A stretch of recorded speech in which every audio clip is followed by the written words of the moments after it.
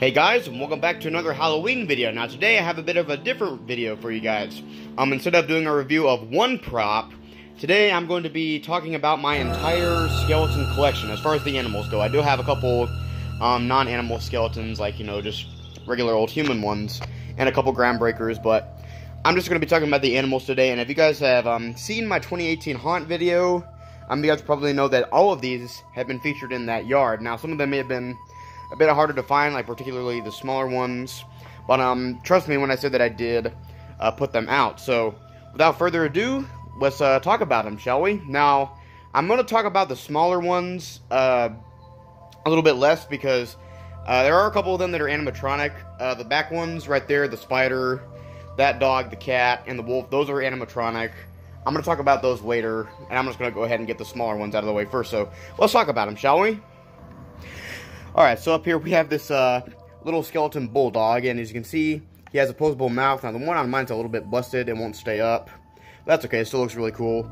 He did have a collar or a leash on it, and um, it was like an actual leash where you could actually, um, there was like a whole line to it, but I took that off so that, um, you know, I thought it would look weird in the graveyard, so I just removed it. I just cut it off because it's just fabric. But as you can see, it does come with the collar, um, but again, I just cut it off. So the bulldog looks really cool. And I'm right over here. I have uh, two snakes. I have um, a regular snake right here. I don't think it's a, uh, a rattlesnake or anything, but it's just a normal snake. As you can see, it's got the big fangs right there and the sharp teeth. And then, whoop, uh, the other one we have here is the cobra. And um, this guy's teeth, uh, the bottom ones particularly, are actually very sharp. I actually, I'm surprised at that, but um, as you can see, this one looks really cool. It's just a cobra snake. Looks awesome. And uh, next up here, we have the small animals. We have a little rat right here. We have a spider. Whoops, put him back up there. Uh, we have a scorpion. This one, I love this one because um, I love scorpions. And uh, we have a frog right here, and the frog, as you can see, if I can get it to open, uh, he does have an open and closable mouth as well as a movable head. And the same thing goes uh, with the rat. You can open his mouth and he can turn his head. Well, can you? Yes, you can. So yeah, those are the uh, smaller animals. And uh, next up here, and lastly, we have the two birds. Now, this one is a raven, and this one is a vulture.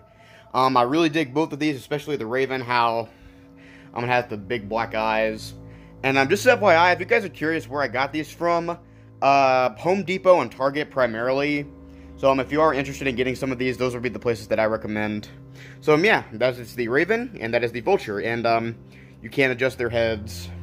And um, I believe the Raven, you can open up the mouth, yes. I don't think you can do it on the Vulture. So yeah, those were the birds. Now let's talk about the animatronic ones.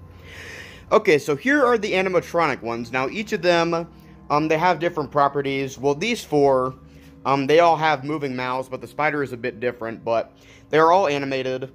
And uh, I love these. They're also cool. So, um, as you can see, we have the wolf here. And um, the wolf, you can adjust um, its two hind legs right there. And you can adjust them to um, make it seem like it's standing, not just sitting down. I like the sitting down one more. I think it looks cooler. But um, what the wolf will do is his eyes will light up once you turn him on. His uh, mouth will open, and he'll start howling. Um, the cat right here, um, it does pretty much what you think. It opens the mouth, its eyes light up, and it starts meowing and hissing.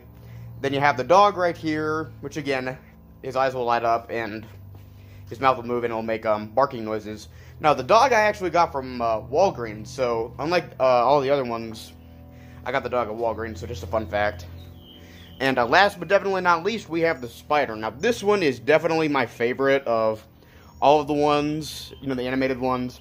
As you can see, it's gigantic, and um, the legs, um, you can spread them out to however long you want them to be.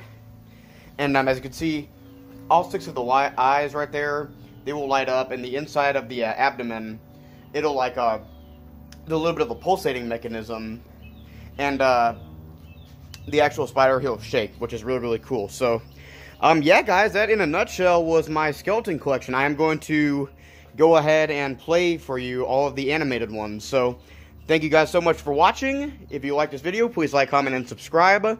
And um, next time, I'm going to be talking about the animatronic that got me started on making my uh, front yard really, really cool. And that guy is the Cornstalker. So stay tuned for when I review him. But um, for the time being, let me show you the animated ones in action.